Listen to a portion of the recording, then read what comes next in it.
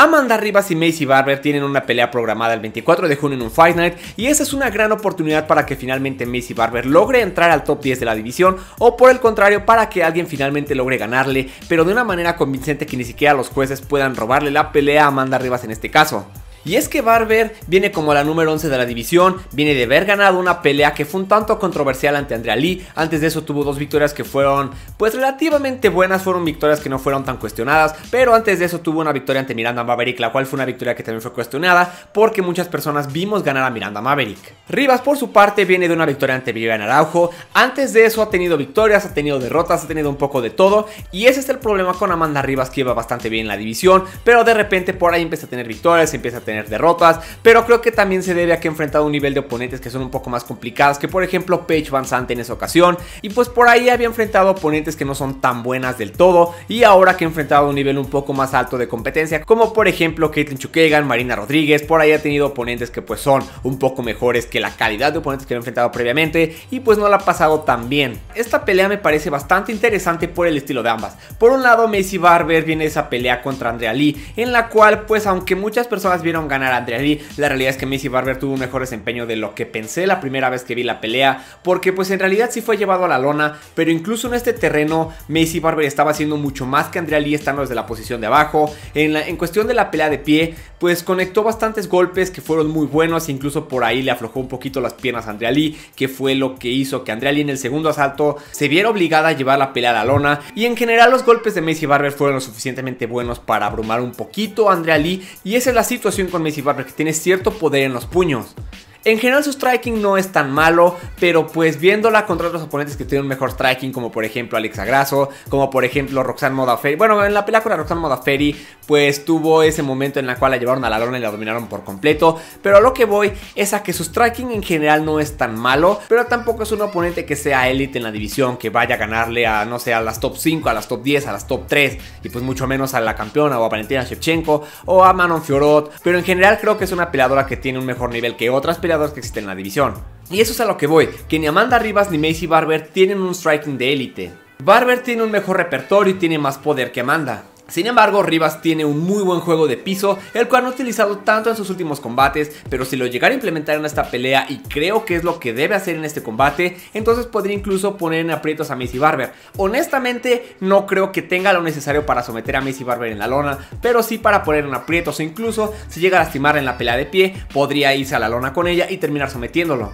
Vimos a Barber ser llevada a la lona fácilmente contra Lee, sin embargo, Rivas podría tener problemas para hacer esto porque Rivas no tiene los mejores derribos. Contra Araujo concretó dos derribos de 2, contra Caitlyn Chukagan tuvo 3 de 6, contra Handinova tuvo 1 de 8 intentos que tuvo y contra Marina Rodríguez también tuvo un solo derribo. Como striker tiene mucho por mejorar, se come muchos golpes y se desboca. Por el lado positivo, contra Araujo sí demostró tener cierto poder en los puños, como por ejemplo con ese jab perfecto que le aflojó las piernas a Araujo y la siguió en la lona. Siento que en esta pelea cualquiera de las dos se puede llevar la victoria, no siento que vaya a ser una pelea dominada por alguna de las dos. Por un lado, Barber tiene la ventaja en cuestión de striking, Amanda Rivas se defiende cuando menos en ese campo, tiene muchísimo por mejorar aquí, pero pues se defiende cuando menos, se mueve bien, de repente llega a patear bien. Por ahí me gustó que por ejemplo le aflojó las piernas a Vivian Araujo, aunque pues también depende porque en ese caso le conectó un golpe que fue bastante bueno en el lugar correcto, entonces no es como que tenga ese poder como las de knockout, pero podría pasar algo similar contra Macy Barber, al final de cuentas son MMA y en una de esas conecta un golpe que pudiera aflojar las piernas a Barber, la lleva a la lona y podría someterla, porque su jiu-jitsu es bastante bueno. La segunda pelea de la que quiero hablar es Gilbert Burns en contra de Belal Mohamed, que será una pelea a los 5 asaltos, parece ser que será a los 5, y parece ser que será la pelea coestelar de UFC 288. Así es el pago por evento que tendremos en mayo, y en realidad es una pelea sumamente buena porque ambos peleadores están muy bien rankeados en la división, ambos peleadores vienen de victorias, Gilbert Burns viene de haber peleado en UFC 287, en donde retiró a Jorge Masvidal, Belal Mohamed viene de ganar a Sean Brady, entonces ambos peleadores han estado activos, un poco más Gilbert Burns, y pues esta pelea en realidad me gusta muchísimo, y ambos peleadores me gusta que se estén enfrentando porque tienen un nivel muy bueno. Y de ganar realmente no sé qué es lo que pasaría porque está ocurriendo una situación muy extraña en todo el tema de la pelea por el título del peso welter. Y pues por un lado esta pelea también se está haciendo con poco tiempo de anticipación, porque para hacer para 5 asaltos pues es diferente, no es como que se vayan a estar enfrentando 3 asaltos, su cardio va a tener que estar mejor. Por un lado, Gilbert Burns está relativamente un poco mejor preparado que Belal Mohamed porque pues tuvo ese campamento de entrenamiento en contra de Jorge Masvidal un poquito más reciente que Belal Mohamed que no ha peleado desde el año pasado. Entonces, en cierta medida viene relativamente mejor preparado Gilbert Burns. Sin embargo, para prepararte para alguien contra Belal Mohamed que pues tiene un nivel de striking decente, que va a estar intentando derribos constantemente, pues es básicamente prepararte para un peleador sumamente completo